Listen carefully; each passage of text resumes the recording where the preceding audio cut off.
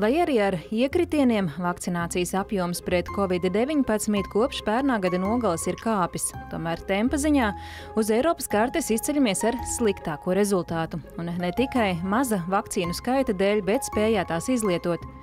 Nedēļas sākumā leduskapjos neizvakcinētas bija vairāk nekā 37,000 devas, daļa pat no vairāk nekā nedēļu senas piegādes. Un tas šīs nedēļas valdības sēdē sadusmoja arī premjeru.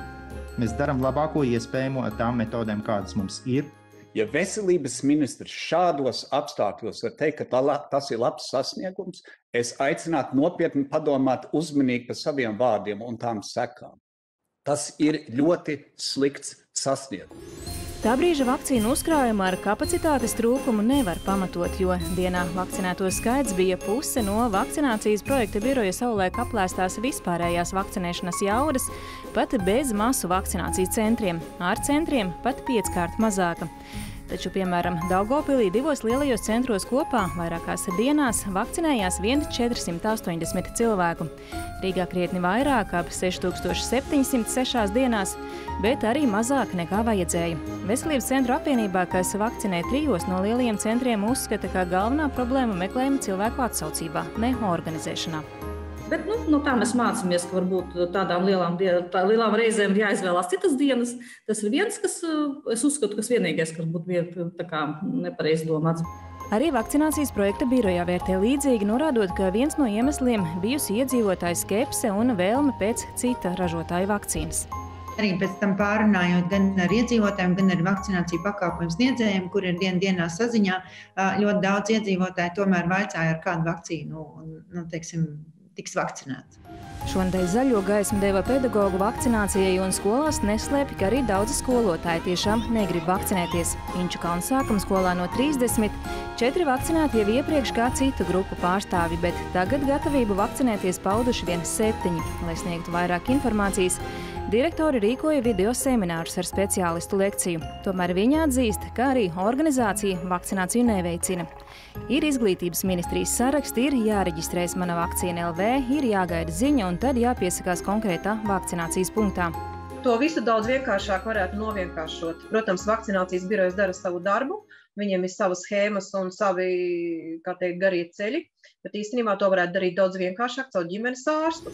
Inčukalnā arī domājuši, ka kopā ar Vangažu vidusskolu varētu uzaicināt izbraukuma vakcinētājs, taču tas ir vēl cits saraksts un jaunas neskaidrības. Turklāt arī skolotājs dalīja grupās, kuriem pienāks un kuriem ne. Tieši birokrātiju un organizācijas trūkumu izceļ arī ģimenes ārstu asociācijas vadītāji, jo kamēr kaut kur vakcīnas palika pāri, pie ģimenes ārstiem ir rindas, bet vakcīnu nav. Pfizer vakcīnas, kuras tuvākajā laikā Latvijā būs vairāk, ārstiem savukārt nedod, jo līgums ar izvadātājiem to piegādi paredz tikai slimnīcām. Mēs lūdzam to nokārtot nedēļas laikā, nu, nevis nedēļas laikā, bet nokārtot to jau pagājušā nedēļa. Uh, bija tā kā solījums bet šonadēļ atbildes nav. Arī de facto sākotnēji nevarēja iegūt atbildi, līdz beidzot vakcinācijas projekta birojā norādīja, ka to atrisinās tuvākajā laikā ar jaunu iepirkumu, meklējot Pfizer vakcīnu vedējus arī uz ģimenes ārstu praksēm. Ņemot vērā, ka šajās nedēļās kopumā ir maz vakcīnu, tas nozīmē, ka līdz tam tajās varētu būt arī vakcinācijas dīkstāve. Tomēr birojā norāda, ka centīsies to nepieļaut.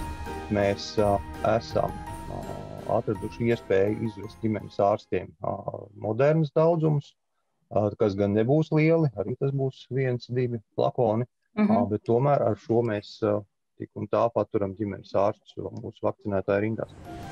Kādēļ šis nav risināts ātrāk, nav skaidrs, jo šādu brīdi varēja paredzēt. Vakcinācijas organizēšanā gan ir daudz iesaistītu, un tāpēc nevienmēr ir skaidrs, ko kurš dara. Un arī de facto jautājums šonadēļ arī futbolēja no viena pie otra. Piemēram, bez vakcinācijas projekta biroja ir vēl vakcinācijas darba grupa, kurā arī lēmj par vakcinācijas organizēšanu, loģistiku un citiem jautājumiem. Bet datus apkopo Nacionālais veselības dienests, taču tam nav ziņu par katrā dienā vakcinēto skaitu konkrētos masu vakcinācijas centros, kas savukārt esot prasāms joprojām ārpus Nacionālā veselības dienesta esošajam vakcinācijas birojam. Iedzīvotāji savukārt dažkārt vienlaikus uzaicinājumus saņem no vairākām vietām, un arī jau pēc vakcinācijas. Mums ir vēl nedaudz jāpaciešās līdz divām nedēļām. Vēl šis process tieši šādi manuāli arī viņš būs. No 19. aprīļa mums tomēr aiziet jaunā sistēma, līdz ar to tas viss būs automatizēts.